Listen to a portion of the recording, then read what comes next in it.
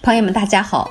今天教大家做懒人蒸馒头的方法，比蒸圆形的馒头还要简单、省事儿、省时间。按照这个方法，你也能蒸出细腻饱满、蓬松暄软的大馒头。首先，碗中放入二百七十克的温水，放入五克酵母粉，用筷子搅匀，倒入五百克面粉中，用筷子搅成面絮。再下手揉成一个光滑的面团儿，一定要揉光滑，这样的话蒸出来的馒头才会细腻光滑。面板上撒上一些干面粉，直接给它搓成长条，用刀给它切分成大小均匀的小剂子。看到这里，别忘了帮男儿点一个免费的小红心呀！万分的感谢我的贵人。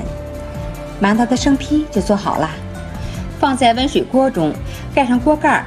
醒发半个小时，水开上气儿，蒸十五分钟，焖三分钟，蓬松暄软的刀切馒头就做好了。如果你做馒头经常失败，赶紧收藏起来，试试这个方法。